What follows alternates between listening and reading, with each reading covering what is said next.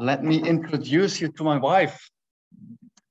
She's a passionate paddle guide in her free time, but she's suffering from shoulder impingement. So last year, she decided to start an exercise program with a physiotherapist. And in only a couple of weeks, she experienced satisfactory relief. Chances are low today in Norway that you would get surgery for this type of problem, but this has been a common procedure over a period of 20, 30 years. So if we look closer at the evolution over time, we can see in the 1990s, this technique started to become more and more popular.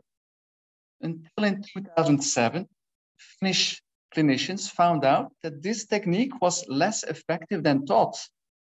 A couple of years afterwards, we can see that in countries like Norway and England, they observed the same thing and the technique started to be de-implemented. So what happened in these 30 years? Well, initially there were a couple of trials, smaller trials, higher risk of bias, showing no effect, but nobody really cared.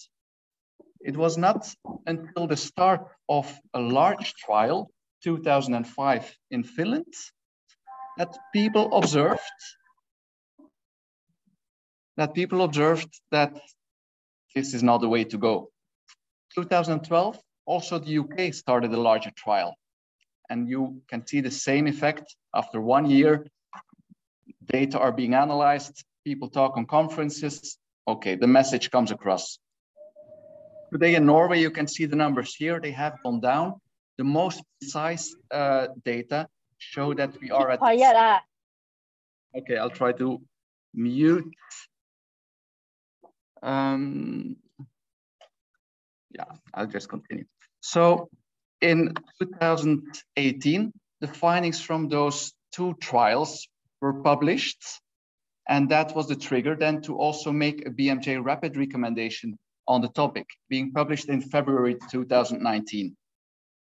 So a strong recommendation to stop with arthroscopic surgery for shoulder impingement and a strong recommendation for physiotherapy or non-operative management only. So, okay, shoulder arthroscopy is on its way out. That's good. But did we really need 30 years to learn? Can't we do this faster? And this is exactly the ambition of the E3 project, also called the Enhanced Evidence Ecosystem. Our ambition is to turn this slow and cumbersome process into a streamlined collaboration across partners in the ecosystem. And this needs bridges that we need to build. And the essential starting point is conversations with people like we are having today. So in the presentation now, I want to discuss with you how we are designing ecosystems how we are trying to build those bridges while we are walking on them, and which methods we are exploring to demonstrate, to evaluate if we are practice changing. All these parts involve research. And our brand new magician, Siri Seterelf, will focus on that as part of her PhD. So this will take us three years. Um, we will have a focus mostly on Norway, but we are also discussing with other countries that are having an interest in following the same research methods. So the first step, how are we designing this ecosystem? Well, we need a map. We need a map to understand how the current ecosystem is organized in Norway. And therefore, we're having interviews with key persons from different sectors in the evidence ecosystem. We will ask them general questions and we will present them existing BMJ rapid recommendations to understand how they impacted care in Norway. Did they come in time? Were they used? Were they noticed? Were any implementation activities related to that? I think we can learn from those interviews.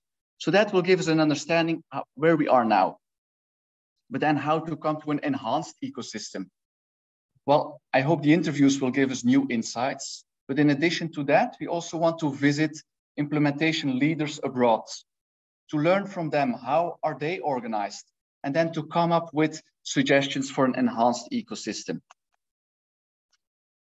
We will work through three cases, either existing BMJ Rapid or recommendations that we will develop from now on. And then we will go through this process from the guidance being disseminated internationally, then coming to Norway. There we need an adaptation process. We need an implementation strategy, and we need a strategy to evaluate if this is changing practice or not. To pick our cases, we think it's important to look how recommendations differ. And Thomas, you already mentioned um, this. We, we have different categories. We have either strong recommendations where we think this is appropriate for every patient or nearly all patients. We also have weak recommendations or conditional recommendations, and those require shared decision making. And also within the E3 project, we relate to the Match It project. Um, so we will also focus on this case. And then what about recommendations against the implementation? Also, those require a different approach. So we will have those um, on one side, but then we will also explore different methods to evaluate change in practice. We will try to use data available through the electronic medical records to see what is the baseline and what happens from month to month throughout the implementation strategy. The same for registry data available in Norway. How can we use that? As guideline developers, for us, there is kind of uh, a way forward to discover.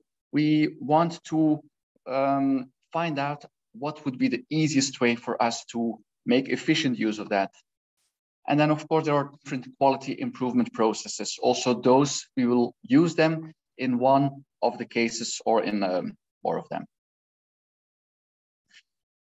Computerized decision support will be the implementation strategy the, of first choice. We'll open up to other strategies when needed, but we have a primary interest in computerized decision support.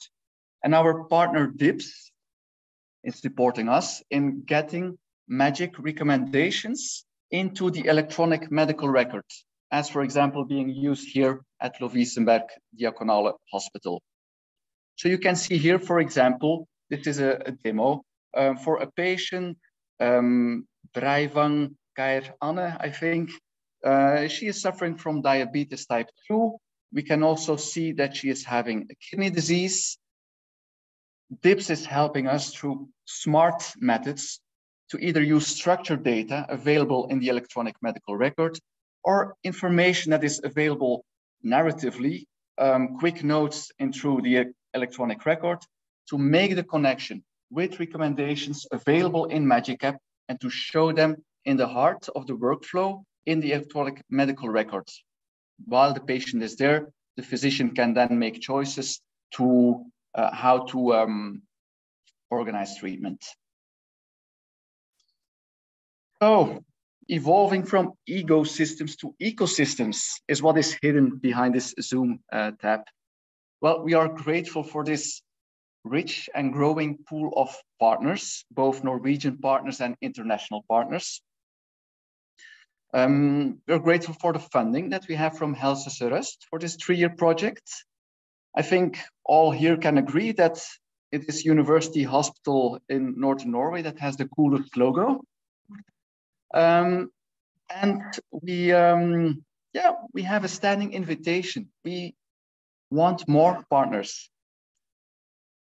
We might not know you right now, but this is an invitation. If you feel our logo should be part of that screen, um, or we are having a really interesting case for you, or we are having a piece of the puzzle that can help you move through this ecosystem, well, then just drop us an email at stijn at magicevidence.org and we start the conversation with you, making this a co-create process.